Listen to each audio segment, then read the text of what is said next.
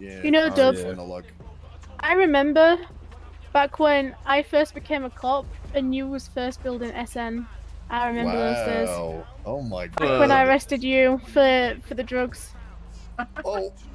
Uh, Oh. drugs involved here. When was this What one? Do you remember specifically? This was like this was like back in like September, October 2021 time. Oh man, Yeah, this is a that's while like ago. right after I went to the Bahamas, but not like the bad Bahamas. you know? Uh huh. Yeah, it was. I think it was before you started building SN though. It was like right before it. That was like pizza parlay. Yeah, that was- damn yeah, near right the there. So Yeah. we're remember talking who he was with, year or the was- year before. 2021. Oh, okay.